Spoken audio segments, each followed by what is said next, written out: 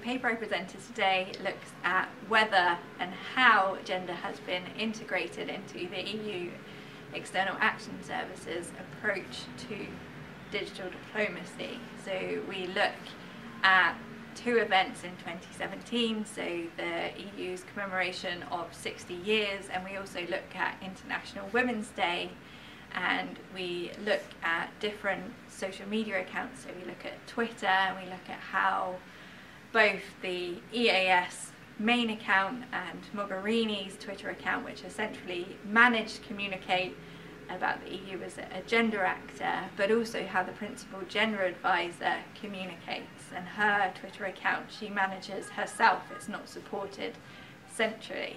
Um, so what we find is actually that gender is kind of siloed into International Women's Day.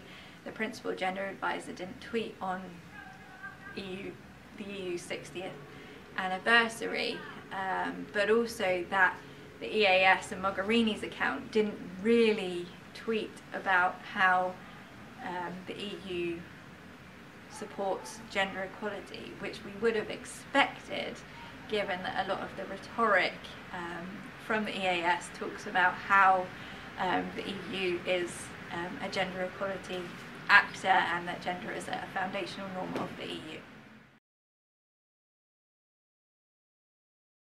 Yeah, so this paper makes two contributions. Um, the first is to the burgeoning literature on gender and feminist approaches to EU foreign and security policy. So to that literature, it adds an understanding of where and how the EAS um, articulates its role as a, a gender actor or doesn't.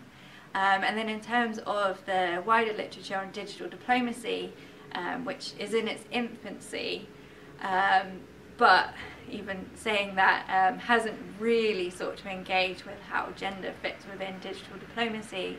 So this paper provides a, a, contribution to doing that and thinking about what a feminist approach to digital diplomacy might be and might consider.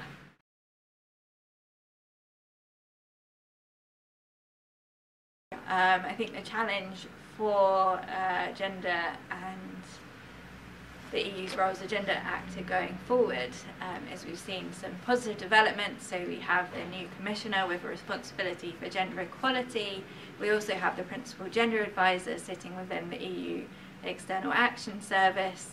Um, but I think what hasn't quite been addressed is how internally these different roles kind of tie up um, and engage with each other um, and also um, that the, the EU and perhaps the EAS will continue to support these gender, these roles with responsibility for gender as a, a core part of what the EU does and is going forward.